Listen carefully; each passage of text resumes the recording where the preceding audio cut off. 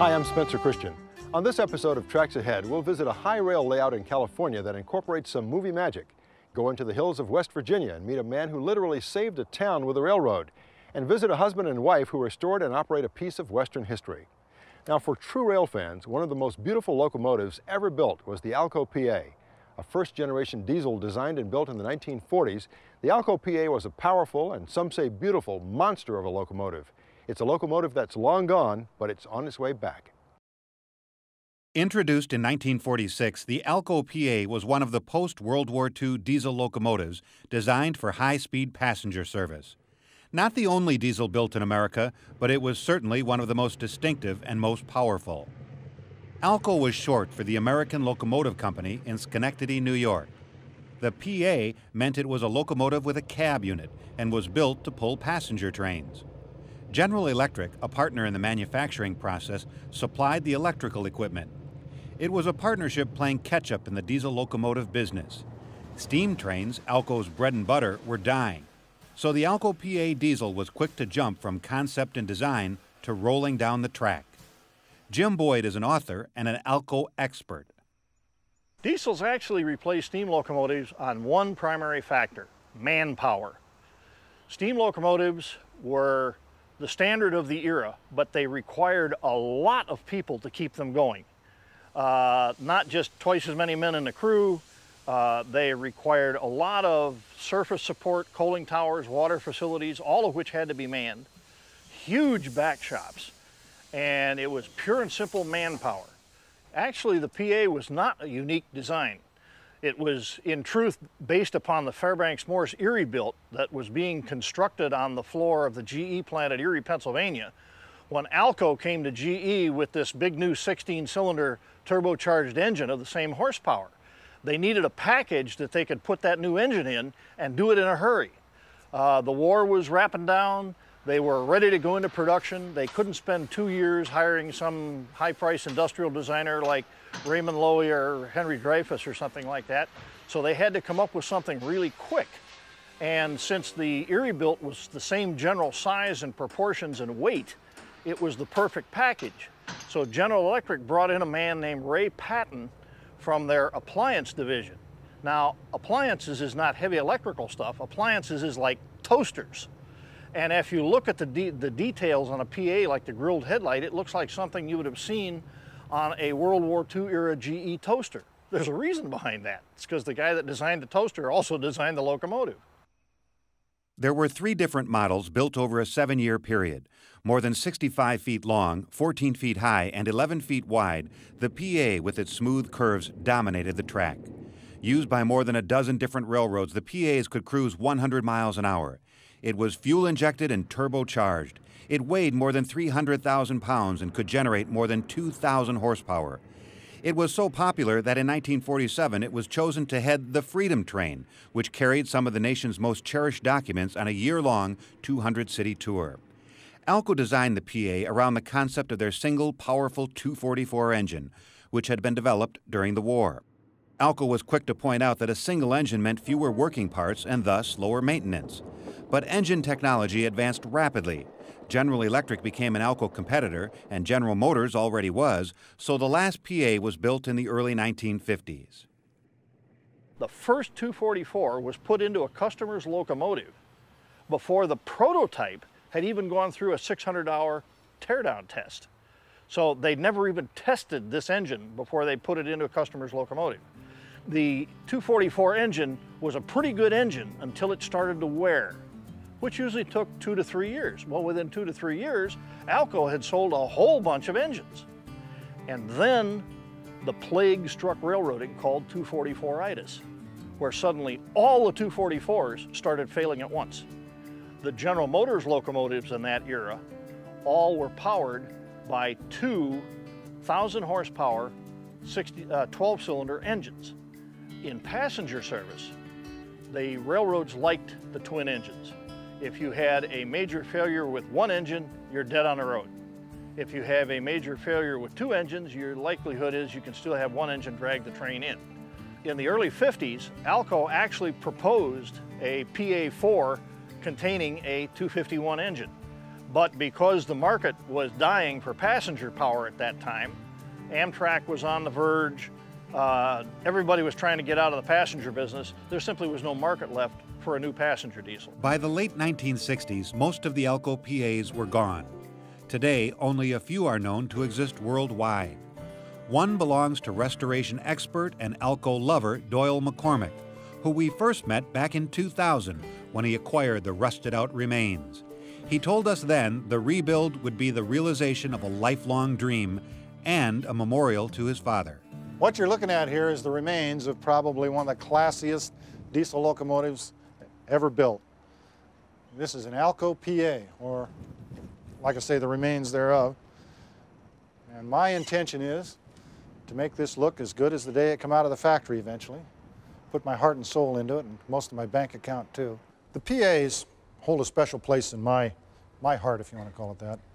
Like I said, my dad worked for the nickel plate and got me hooked on trains at an early age. In 1955, he made a trip to New York City and took me with him. And we went down to the depot to get on the train. And he took me up and we rode the engine of nickel plate number eight from Conneaut to Buffalo, which is 116 miles. The engine on that train was a nickel plate PA number 190. That was the first diesel locomotive I ever rode. And from that point on, that became a special engine in my, you know, my passion. If you look at the lines of these and the architecture and the design, they just say speed. You know, the curves, you don't see curves in in industrial equipment today, everything's box, square corners. These have the nice lines, the curves, they're sleek. They got the long wheelbase trucks under them. They just look like something that wants to get out and run at 100 miles an hour. They have a face on them that only a mother could love, I guess, but uh, to a lot of the rail fans, these are the epitome of the diesel locomotive. It has been a slow and painstaking process, but today the rebirth of a legend is well underway. She is now painted in the bluebird color scheme of the old nickel plate railroad.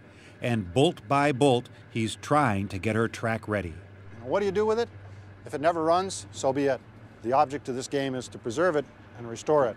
And when I get it done, nice day like this, I just want to pull it outside, get my lawn chair, my cooler with a six pack of Pepsi, the umbrella, and just sit there and watch it all day long. Just look at it, admire it. That's the object of the exercise here is the restoration and the preservation. Life is way too short. If you have a dream, chase it. It's, you can't get old and say, I wish I had. You got to get old and say, I'm glad I did.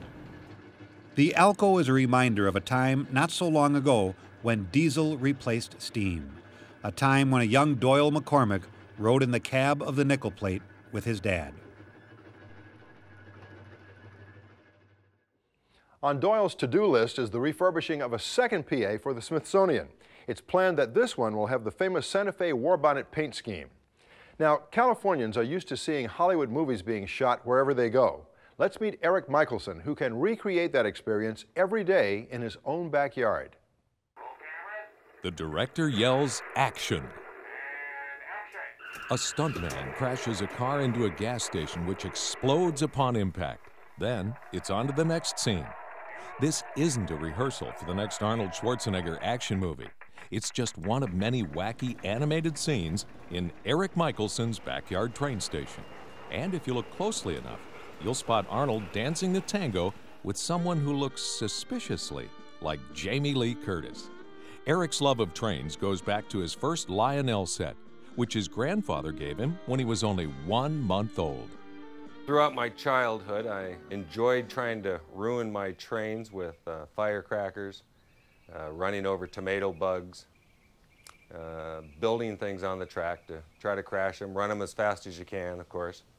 Uh, and they go flying off the tracks, and that, uh, that train still runs today.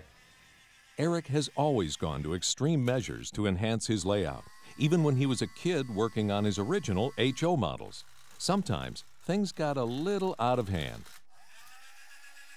I needed lighting on my layout and uh, because it just wasn't right. I put the roads in and a few buildings, but uh, of course I didn't have any electrical expertise yet, so I took birthday candles and I put them all over the layout and I lit them and I was so pleased when my father came home, I ran him out to the garage to, to see how this was all lit and candles and he about had a heart attack because he was storing gasoline and paint thinners and all kinds of explosives in the garage that, of course, I had no idea about. Well, that explains the stunt car driver. Growing up in Southern California must have had a big influence on Eric. From the moment you step into his backyard, you wonder if you're in Disneyland or Knott's Berry Farm or even a Hollywood movie set, and the Duke himself is there to greet you.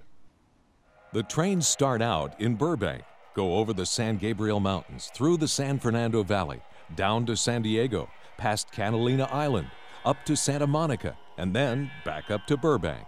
Along the way, they pass recognized landmarks and some features that only Eric knows, such as the house he grew up in, or a tongue in cheek tribute to a commodities broker he once worked with.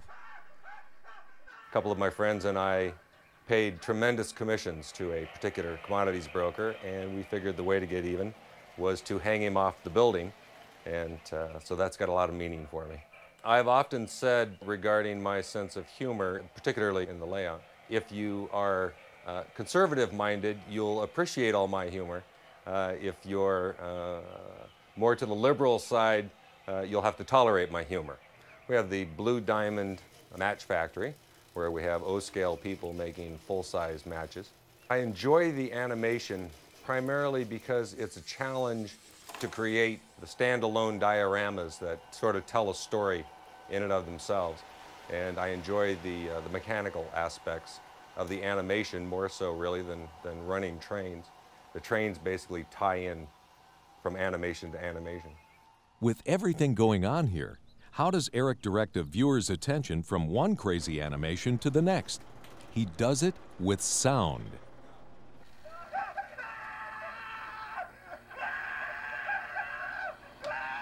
There are six audio cassette players hardwired into the layout with speakers placed at different locations. Eric can fade the sounds in and out depending on what he wants his visitors to focus on.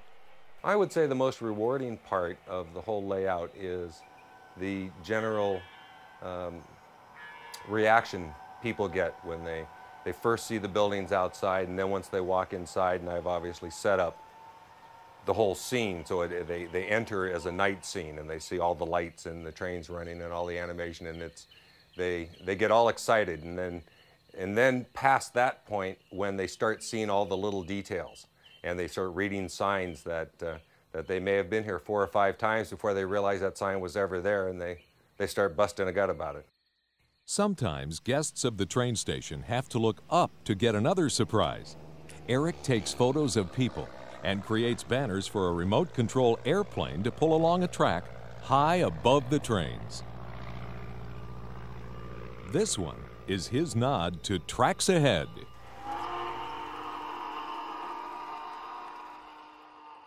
Eric has replaced his audio cassette units with a state-of-the-art sound system. In a moment, we'll meet with Dan and Diddy Markoff, who have created a new chapter for both themselves and the Wild West legends they admire with their loving restoration of the Eureka steam locomotive. But right now, let's escape the hustle and bustle of city life and take in the serenity of the majestic Allegheny Mountains of West Virginia. Here you'll find some of the finest scenery in America mountains, forests, lakes, and the trains of the wonderful Durbin and Greenbrier Valley Railroad. Here in the mountains of West Virginia, you'll find some of the most breathtaking scenery in America. Hundreds of thousands of acres of unspoiled wilderness. Waterfalls cascade in densely forested canyons. Some of the most isolated and picturesque views you'll ever encounter. Durbin is nestled in the Allegheny Mountain Range in Pocahontas County, West Virginia. Railroad history is in the bloodline of this town. The railroad really made the major impact 100 years ago in, in 1902 when the first train came to town. Um, it came here to the depot, it was a steam engine of course, and the town shifted back around from the where the Western Maryland is now to where the main street is here and so the railroad had first dibs and the town revolved around the railroad. For years, the railroad gave life to this town. But after nearly a century, it was the town, with financial assistance from the state, that would breathe new life into the abandoned line of a dying railroad. And it was determined that a small tourist operation could be started here if somebody was interested. And my wife Kathy and I decided that uh, we might be interested. So as ex-truck drivers, we sold our truck and formed the Durbin and Greenbrier Valley Railroad Incorporated. about half of the businesses in town own are the original stockholders. The excursion trains of the Durbin and Greenbrier Valley Railroad offer you some absolutely wonderful ways to see what West Virginia has to offer.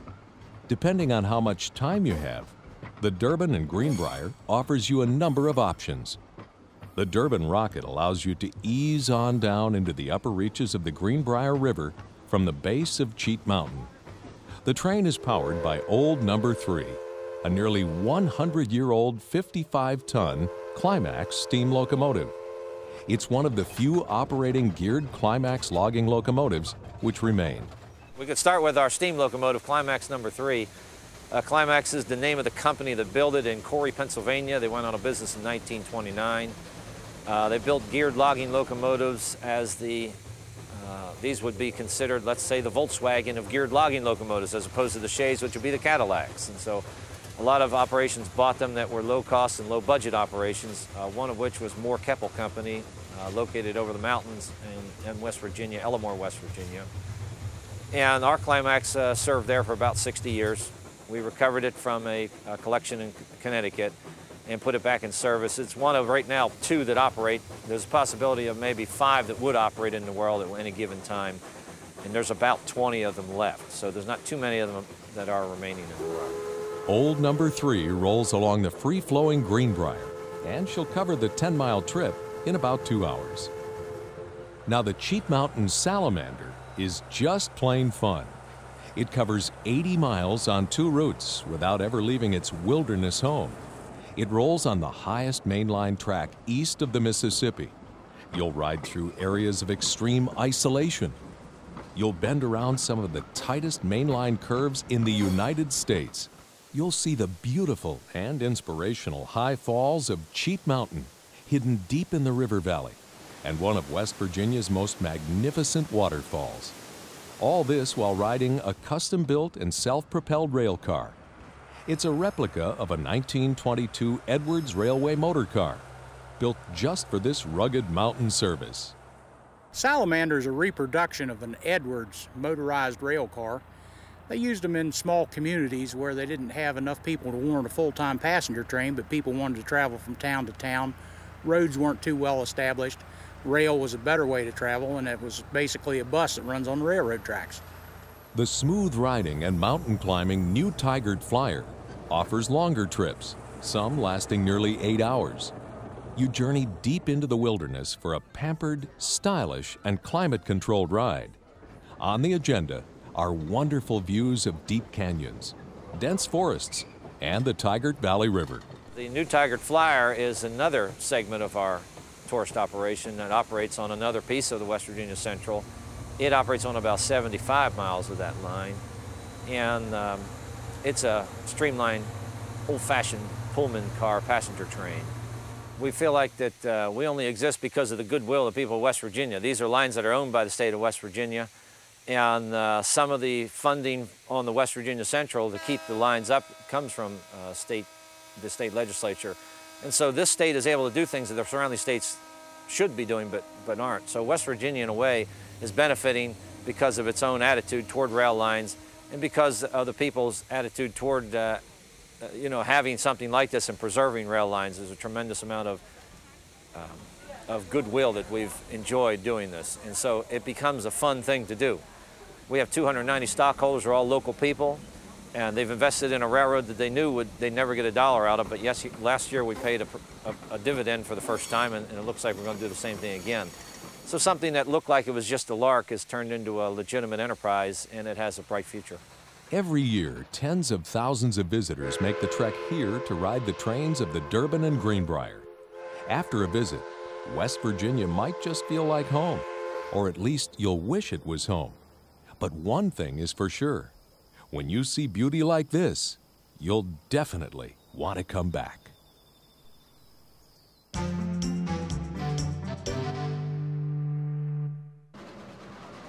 There wouldn't have been a Wild West if it hadn't been for the railroads.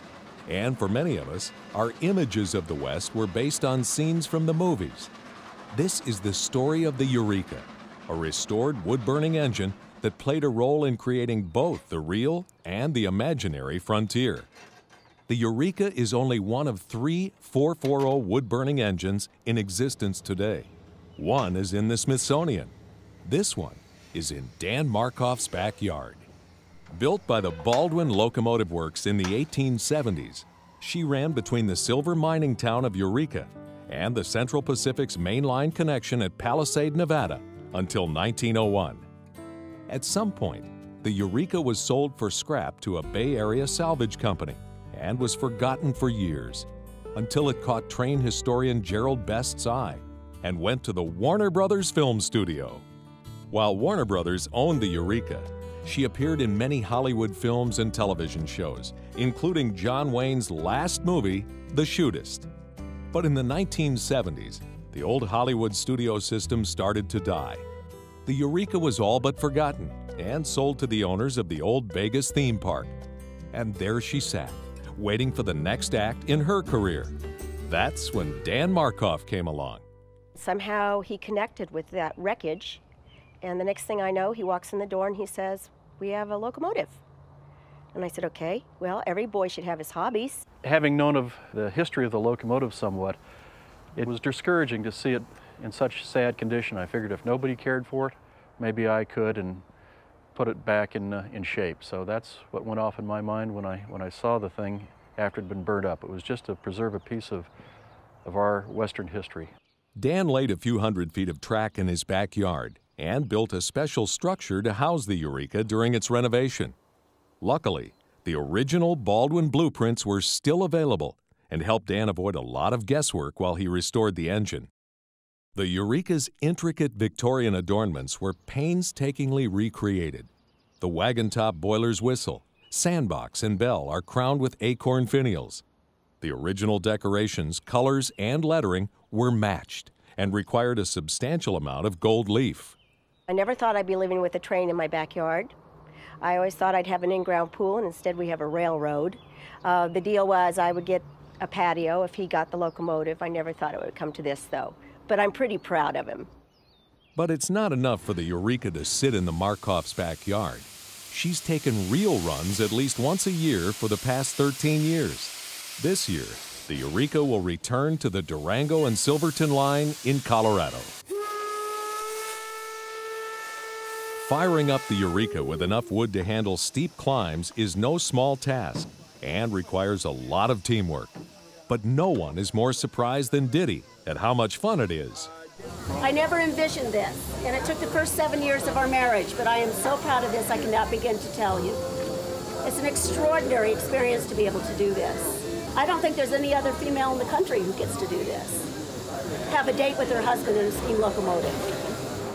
The engine has also returned to her birthplace in Eureka, Nevada for special occasions. We had it up there in 1992. They brought this very old woman by who was very frail. They brought her up and we gave her this little ride down the, the track that we had built. And uh, she started crying. And I asked her what was wrong, and she said, as a young girl, this locomotive had pulled her in a train to school and it was bringing back her youth to her. And uh, it, was, it was one of the most special moments I've ever had with this locomotive, to have that, that bridge of uh, almost a century there. Seeing how people react to the Eureka is a testament to its beauty and grace, and to the railroad's ability to capture the romance of the Old West. They're inspired. I see tears in their eyes. That inspires me, and I appreciate the engine more each time I see that. They sincerely appreciate history. Um, they appreciate what Dan has done. It's better than H.G. Wells' time machine. It's not only carrying you back into the time of the 1870s and 1880s of the American West, it's something that's going on today also. It's, so it's not just it's running in the past that, that that's interesting and learning how they did it then, it's that it's running today in the 21st century also. Dan is continuing to work on additional rolling stock for his railroad. That's it for this episode. Thanks for being with us, and please join us next time for more Tracks Ahead.